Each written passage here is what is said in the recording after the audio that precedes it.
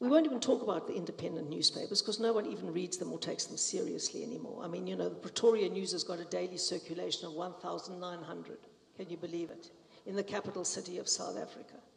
I mean, I'm amazed that even 1,900 people read it, but there you go. The big problem is that many of the journalists sit in humanities faculties of one sort or another for three years, immersed in this woke marinade. They come out, they think that that is how the world really is. And if you read the Cape Times every day, whatever is happening in the world, they will be leading on somebody interpreting something as racist, some way, no matter how irrelevant it is. I don't read the English speaking media anymore. I just don't read it. I read Die Burger every morning and I read Rapport on a Sunday.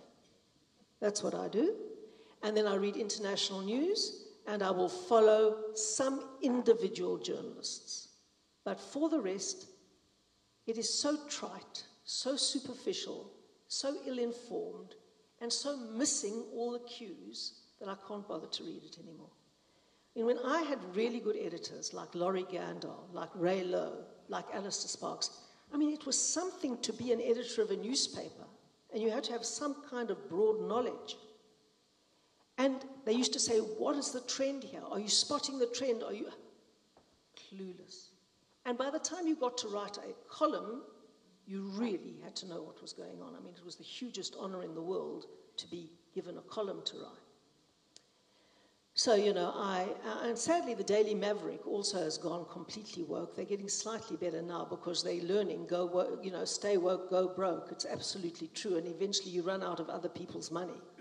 So, yeah, but um, yeah, I, have got not a good word to say about most of the print media in South Africa, except Rapport and Die Burger.